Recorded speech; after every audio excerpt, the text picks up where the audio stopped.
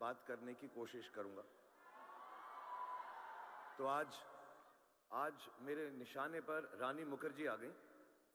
तो उनको मैंने फंसाकर, पटाकर, उनसे पूरी बंगाली स्पीच मैंने लिखवाई है। तो अगर मैं अच्छा बोलूँ तो मेरी भावा कीजिएगा। If I do it badly then it's Rani is fault প্রথমে কলকাতায় এসে খুব ভালো লাগছে